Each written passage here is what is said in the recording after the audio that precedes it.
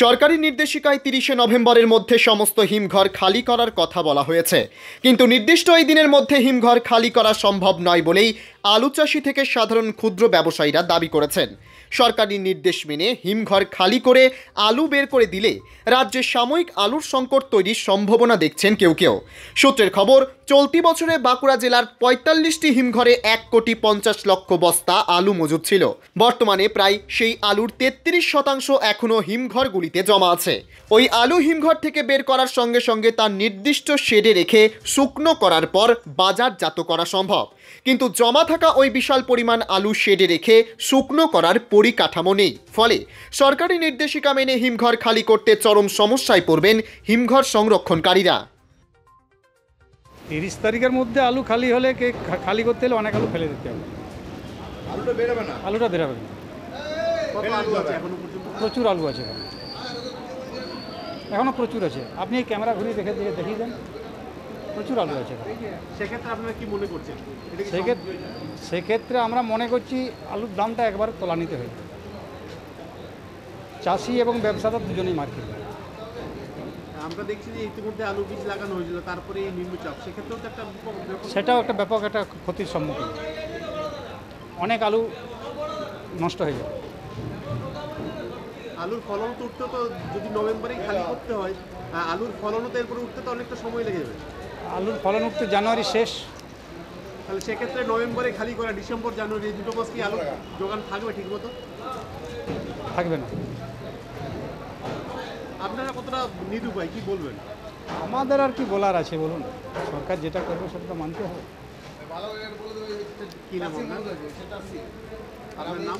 আমার নাম আলোক লোক।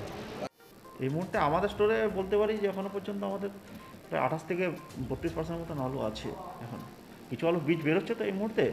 তো বীজগুলো বেরিয়ে যাওয়ার পরও আলু থাকবে কিন্তু তিরিশ তারিখের মধ্যে আমার পক্ষে মনে হচ্ছে যে সম্ভব নয় যে আলুগুলো সব বের করে দেবো।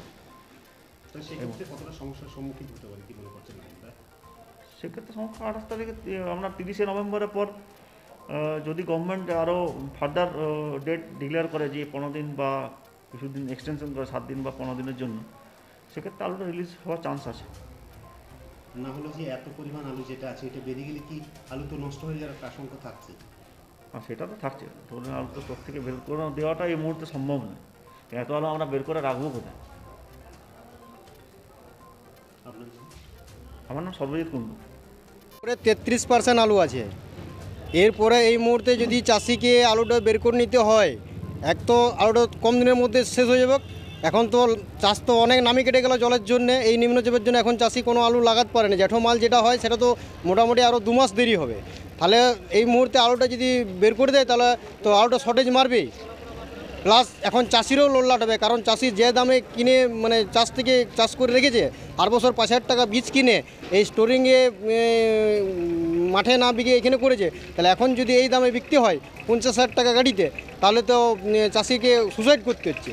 পনেরোশো টাকা দশ বিশের বস্তা এক মাসের মধ্যেই একশো টাকা বেড়ে গেল। তাহলে এই ঘাটতিগুলো চাষি কী করে দিবে? চাষি বাঁচবে কী করে? কতটা আপনার আশঙ্কায় আছেন? আমরা তো ব্যাপক আশঙ্কায় আছি কারণ আমাদের এরপরে যদি চাষ করতে হয় আমরা কি করে চাষ করব। ইতিমধ্যে তো আলুর বীজ বপনের কাজ শুরু হয়েছে তার মধ্যেই নিম্নচাপ বৃষ্টিপাত। তাহলে নিম্নচাপ এরপরে মনে করুন যারা কিছু লাগিয়েছিল সেটাও তো আলু পচে গেল। আবার বলছে হবে চার দিন পরে আবার সে- সেটা সেটাও পচে গেল। যেটা বীজ কিছু কিছু লাগিয়েছিল চাষি জেঠো মাল যদিও বেরোতো জানুয়ারির মধ্যে ফেব্রুয়ারির মধ্যে সেই তো সেটা তো পচে গেল আলুটা। কারণ এই তো জলে তো সেই আলুটা নষ্ট হয়ে গেল। তাহলে এরপরে মনে করুন তাহলে সেটাও নষ্ট হলো এখানে স্টোরে রেখেও যদি চাষি দাম না পায় তাহলে চাষি কি করবে? সরকারের কাছে চাইছি যে ডেট আছে নভেম্বর তার থেকে এক মাস চাষিকে টাইম দোক। ডিসেম্বরের ডিসেম্বরের শেষ পর্যন্ত টাইম দোক এবং যাতে মালটা যদি আরও বাইরে কিছু পাঠানো যায় সেটার ব্যবস্থা করুক। আমার নাম পরেশ সিট। তেত্রিশ পার্সেন্ট আছে। সেক্ষেত্রে কতটা সমস্যা পড়তে হবে? সমস্যা মানে ফেলে দিতে হবে আলু ফেলে দিতে হবে আলু কেন? আলুটা বেরোবে না তো। পনেরো তারিখ আলুটা বেরোবে না তো। তিরিশে নভেম্বর যে ডেটটা দিয়েছে আলুটা বেরোবে না। তাহলে ফেলতে হবে। এই খেলা নয়। চাষি আরও মাথায় হাত দিয়ে দেবে। সেক্ষেত্রে আপনারা কি মনে করছেন? ডেটটা বাড়াতে হবে। যদি ডেট না বাড়ানো হয় সেক্ষেত্রে কি? তা আলুটা ফেলে দিতে হবে। আলুটা ফেলে দিতে হবে। এই মুহূর্তে তো আলু চাষও শুরু হয়েছিল তার হ্যাঁ। মধ্যেই বৃষ্টি। বৃষ্টি। এখন আলু নতুন আলু আসতে দু মাস সময় লাগবে। নতুন আলু যা হবে দু মাস সময় লাগবে। নষ্ট হয়ে গেছে সব। জলে। আপনার তো ব্যবসায়ী আপনারা কি মনে করছেন কতটা ক্ষতির সম্মুখীন হতে হবে? এখন ব্যবসায়ী চাষি ক্ষতির সম্ভাবনা পড়বে। যে আলু আছে তাহলে হতবেলা দামে বিক্রি হবে হয় ফেলে দিতে হবে। বিক্রি হবে না মার্কেটে অজিত গড়াই। সেক্রেটারি ব্যবসা সমিতির সেক্রেটারি